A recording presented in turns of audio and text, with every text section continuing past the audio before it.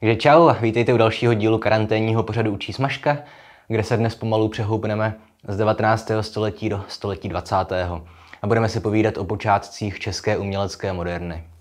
A jak to tak s podobnými termíny bývá, tak slovo moderna je děsivě zatížené a nejasné, protože výrazy moderna a modernita či modernismus různí teoretici používají v různých významech. Jo. Někdo nachází počátky moderny v polovině 19. století u Bodléra, někdo na začátku 19. století u Klajista, jo. někdo zase modernu nedefinuje na základě umění, ale spíš v souvislosti se stavem společnosti či vývojem filozofie. Tady vidíte knížku, která na nějakých 400 stránkách řeší, co je to vlastně moderna. Spoiler alert, nevyřeší to. A konec konců i dneska máme tendenci používat slovo moderní ve chvíli, kdy chceme o něčem říct, že je to nějak novátorské nebo že to zrovna frčí a vůbec tím neodkazujeme k nějaké umělecké nebo společenské éře. Můžete pochválit kamarádku, že má moderní účes, nebo můžete nadávat, že ta moderní hudba za nic nestojí. Jedna teďka vakcína se jmenuje Moderna. S tímhle slovem se nakládá hodně volně. Na druhou stranu, my dnes máme mluvit o české literatuře a v ní to není s modernou zas tak moc komplikované, protože nám ji v umění hezky ohraničili sami autoři, kteří vydali roku 1895 takzvaný manifest české moderny, kterým obvykle ve škole počítáme vlastně začátek téhle éry. A pokud si to chcete co nejvíc zjednodušit, tak si můžete zapamatovat, že moderna je prakticky všechno, co následovalo po realismu. Tedy, že Jirásek a Tereza Nováková a spol ještě moderní nebyli, ale představitelé všech těch izmů, které přišly po nich, už k moderně řadíme. Těmi dalšími izmy, myslím, symbolismus, naturalismus, dekadenci, expresionismus a tak podobně. Jo, ani tady to není tak jednoznačné. Že na jedné straně do realismu třeba spadá proza Kalibův zločin že, od Rajze, o které jsem mluvil minule, a ve které už ale zároveň nacházíme prvky modernismu. A zase třeba naturalismus jsem zmínil jako součást moderny, ale ne každý by s tím souhlasil. A tohle všechno zmiňuji proto, abych vás varoval, že dnes budu vykládat jenom takový hodně nepřesný a zjednodušený model toho, co je moderna. A ten výklad je určený středoškolákům. Na vysoké škole byste s ním nepochodili. Hm, takže to jen tak na úvod. A tak si jako obvykle nějak přiblížíme společenskou situaci v době, o které budeme mluvit, tedy v 90. letech 19. století a v 0. letech 20. století. No a pokud jde o situaci ve světě, tak můžeme zjednodušeně říct, že ve společnosti převládal jako relativní optimismus. Hm? Probíhalo celkem neobvykle dlouhé období míru na evropské poměry, i když k dílčím konfliktům docházelo i v Evropě a celkem těžké boje probíhaly v koloních. Ale to bylo průměrnému obyvateli Evropy celkem jedno. Hm, kromě toho pokračoval rozvoj technologií a obecně přírodních věd, medicíny. Takže lidi v průměru žili déle, bezpečněji šťastněji než kdykoliv předtím, řekl bych. No a na konci století se taky začalo, nevím, první filmy se začaly objevovat třeba, které samozřejmě později ve 20. století způsobily úplně zásadní revoluci v kultuře a zábavě. Docházelo taky k takzvané sekularizaci. Církev postupně ztrácela vliv v různých sférách veřejného života, ve školství třeba. A pokud jde o uměleckou sféru, tak pro ní obecně platí, že po dlouhých staletích, kdy v umění vždycky existoval nějaký dominantní směr, případně koexistovaly dva směry v dobách nějakého přechodu mezi dvěma érami. Vždycky byl nějaký pré a post, pré-romantismus, post-impresionismus. Ale v době, o které dnes mluvíme, tak došlo jako úplně k roztříštění umění. A to roztříštění trvá dodnes a neustále se prohlubuje. Ale když si zkusíte prostě jít skrze staletí, tak vždycky vám naskočí nějaký dominantní směr. Po renesanci a humanismu byl baroko, po baroku romantismus a po romantismu realismus. A některé směry jsem vynechal samozřejmě. Ale najednou se ocitáme na konci 19. století a stojí vedle sebe dozvuky realismu, naturalismus, dekadence, expresionismus, symbolismus, impresionismus, spousty dalších směrů z nich některé ani pořádně nepronikly do literatury a máme je spojené skoro výhradně s výtvarným uměním. Je případ třeba že nebo kubismu. A říkám skoro výhradně. No, samozřejmě, že nějaké formy třeba že, kubismu nebo impresionismu pronikly i do literatury, i když byly výraznější ve výtvarném umění. No a čím bylo tohle roztříštění způsobené? E, v první řadě se prohluboval odpor umělců k nějakým zažitým akademickým pravidlům. Malíři a spisovatelé začínali už v době romantismu a realismu popisovat třeba lidi z okraje společnosti. To se předtím nedělalo.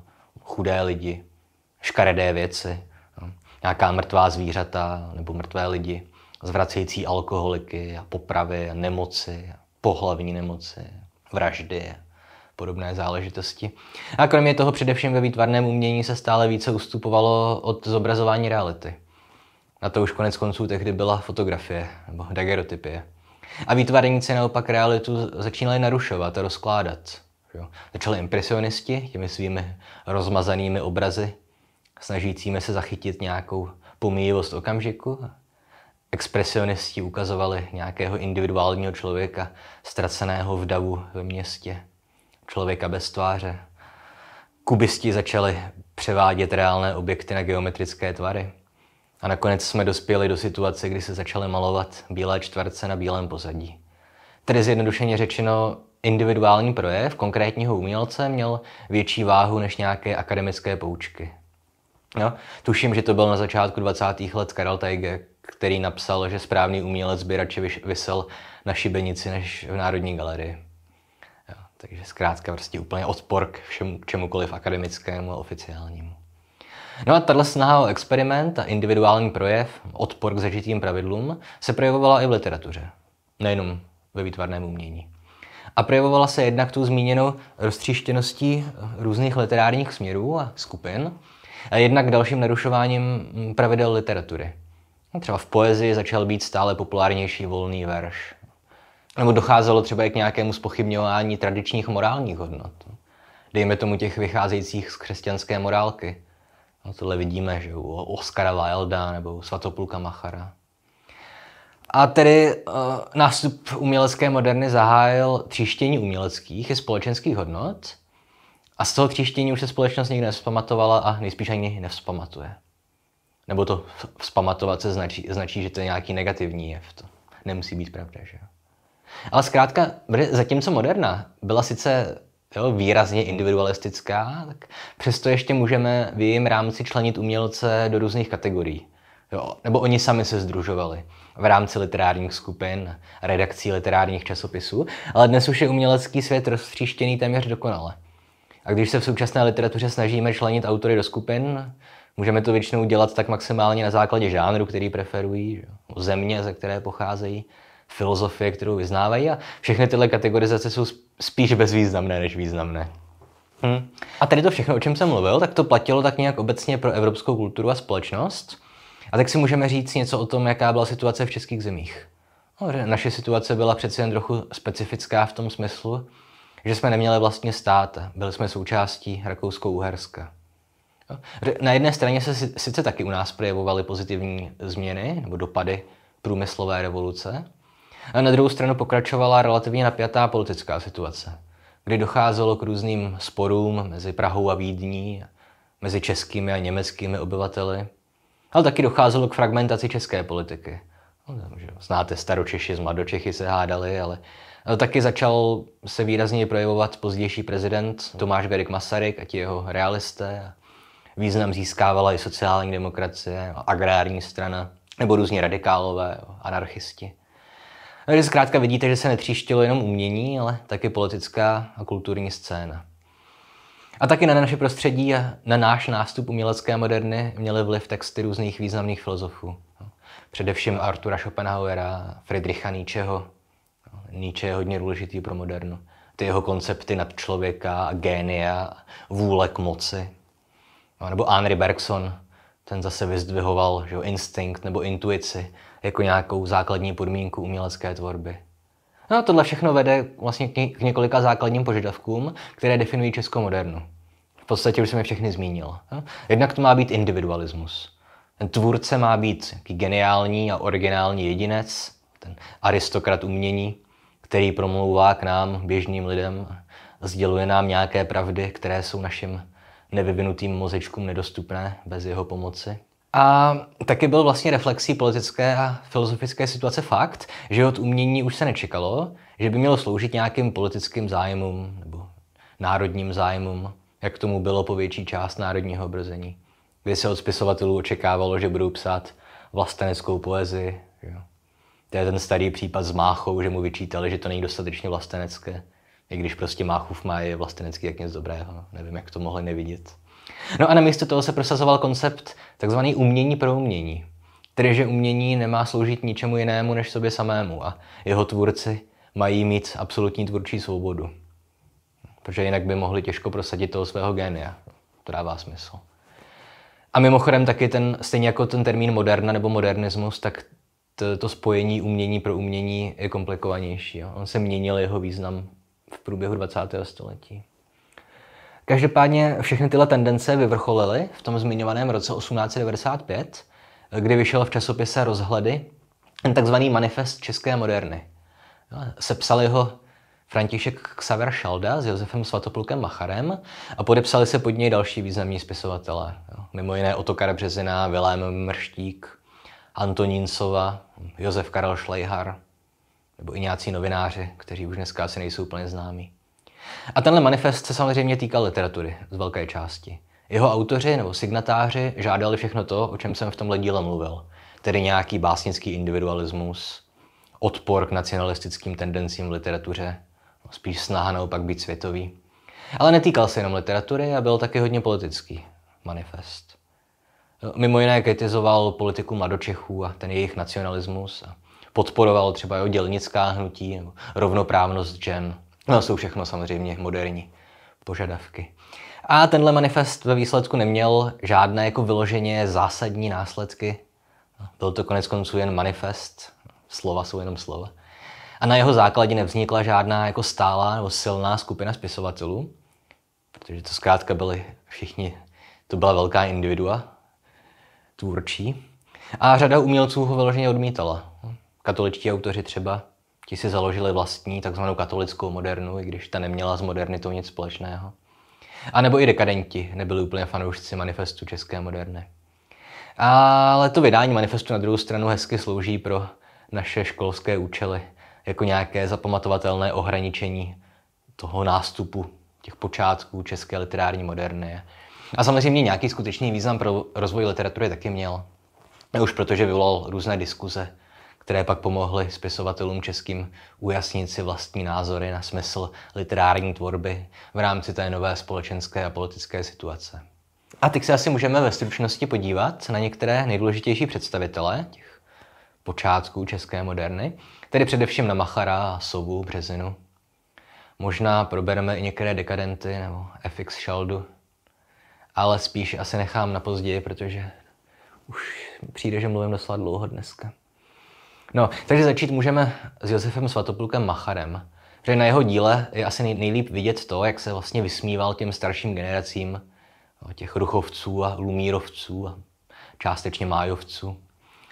A Machar odmítal psát poezii, která tedy by měla sloužit nějakým vlasteneckým účelům. Zdůrazňoval úlohu básníka jakožto individualisty. A pro jeho poezii jsou typické různé ironie, sarkazmy a obecně výsměšný, parodický nebo útočný tón. On se vysmíval jak starším literátům, tak i současným tvůrcům nebo politikům.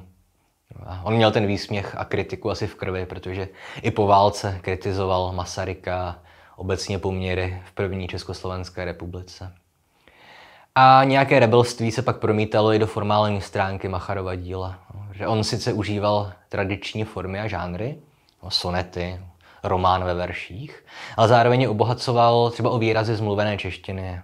Používal přímá pojmenování na místo nějakých obrazných. Nezakládal si na komplikovaných metaforách, na rozdíl třeba od svého kolegy Otokara Březiny, nebo těch starých estétů, jako byly Sládek a Vrchlický. A když už jsem zmiňoval tu sekularizaci, slábnutí církve a filozofii Friedricha Nietzscheho, tak tyhle tendence měl třeba oslavy antického uvažování a naopak odporu ke křesťanské morálce, tak se projevilo i u Machara. Především ve sbírkách eh, v záři helénského slunce a, a Jet z Judeji. Tam ten obdiv k antice a odpor k náboženství je patrný už z názvu knih. Jet z Judeji. A odpor ke křesťanství celkem zajímavě kontrastuje ale s tím, že Machar ve svých básních s oblibou používal eh, biblické odkazy. Třeba jsem zmínil jeho román ve verších, ten se jmenuje Magdaléna, ale to neodkazuje k postavě toho románu, ta se jmenuje Luci, ale odkazuje na Marie Magdalenu, no, Kristovu oblíbenou prostitutku. No a když jsem u manifestu České moderny zmínil ten důraz na práva žen, tak musím tady zmínit ten Macharův soubor Zde by měli kvést růže, který je kompletně věnovaný problematice žen a jejich postavení ve společnosti.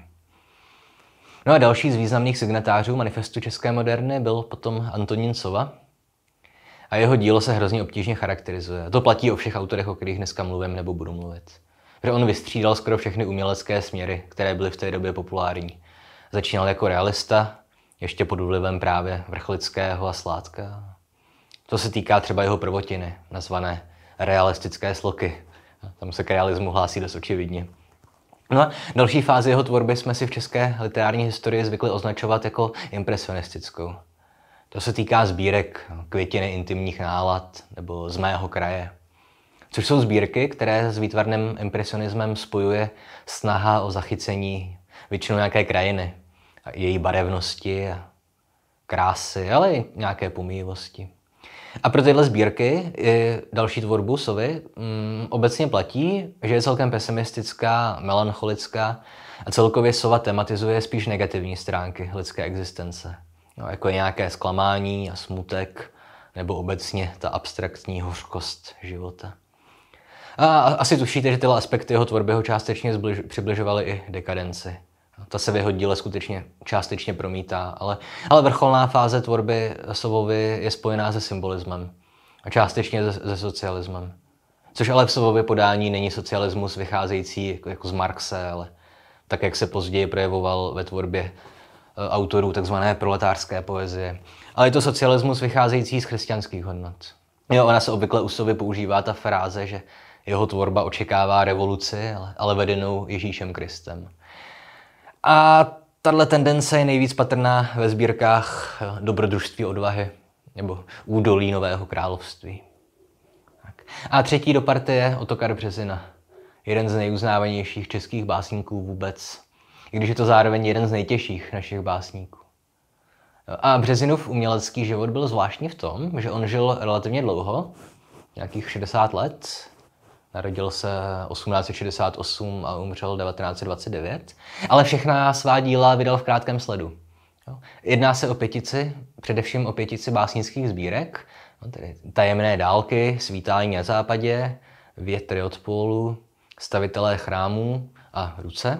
A tyhle sbírky vyšly mezi lety 1895 až 1901, tedy zhruba každý rok jedna sbírka. Jo a pak vydal ještě v roce 1903 soubor básnických esejí Hudba pramenů, taky velice důležitý text, ale tím byla jeho básnická tvorba de facto uzavřena. A obecně jako Březinová tvorba je příliš komplikovaná na to, abych je mohl nějak důkladně vyložit uh, na tomhle krátkém smažkovém formátu, ale co byste si měli pamatovat je to, že se jeho básně řadí k symbolismu, jsou taky ovlivněné tím, že Březina byl neuvěřitelně sečtělý a vzdělaný člověk. Se projevuje mimo jiné velmi obtížnou slovní zásobu, kterou užívá. Taky tím, že jsou v básních patrné vlivy filozofů a jiných básníků, především Baudelaire, Nietzscheho a Schopenhauera. A zároveň tou tvorbou velmi silně prochází vliv křesťanství. Jo, tady vidíte opět, že prostě, když mluvíme o české moderně, tak to není, nejsou jako jednotní autoři. Vlastně Machar se, se křesťanství vysmíval, Březina i Sova ho začlenovali do svých sbírek. A zkrátka tedy Březinovy básně jsou plné jako abstraktních různých termínů, navíc ještě zauzlovaných do takových obtížných metafor, které se často táhnou napříč několika verši nebo i napříč celými básněmi. A typicky užívá Březina volný verš, což v jeho době byl relativně novátorský postup. A mně je jasné, že z toho mého výkladu teďka vlastně pořád ještě nemáte ponětí, jak vlastně Březinova tvorba vypadá. Jenže jeho básně se alespoň z mého úhlu pohledu prostě vzpírají pokusům o zjednodušení nebo o nějakou školskou interpretaci. A nejde je odbít pomocí několika univerzálních věd, jak to ve škole běžně děláme u některých menších autorů. E, důležité je ale to, že Březinova tvorba byla jako zcela zásadní pro celou českou meziválečnou i, i, pozí, i novější literaturu. E, odvolávali se na něj všichni. Jak katoličtí autoři, tak i mladí komunističtí avantgardisti a Podobně jako tomu bylo v případě FX Shelby, tak pokud něco prohlásil uh, Otakar Březina, tak se o tom prostě moc nediskutovalo. A každopádně, kdybych měl představit Březinovo dílo nějak uceleněji, tak bych na to potřeboval aspoň hodinovou epizodu nejspíš by se mi to ani tak stejně pořádně jako nepovedlo. Protože mám prostě taky nějaké interpretační limity a nemám bohužel čas na to, abych si kvůli jedné epizodě načítal mnoha tisícové monografie věnované Březinovi. Takže pro vás jako maturanty je vážně asi nejlepší si vzít nějakou jeho sbírku a prostě tomu dát šanci. A nečekat, že porozumíte všemu, ale můžete si tak aspoň vytvořit nějaký vlastní obrázek toho, jak vypadá dílo našeho možná vůbec nejuznávanějšího básníka. No a to by pro dnešek asi stačilo představitelům té první fáze české moderny. Příště se můžeme podívat na ostatní autory náležející do téhle doby, tedy na různé dekadenty, naturalisty, podobné představitele rané fáze české moderny, či pozdní fáze realismu, jakkoliv to chcete nazývat. A zdar.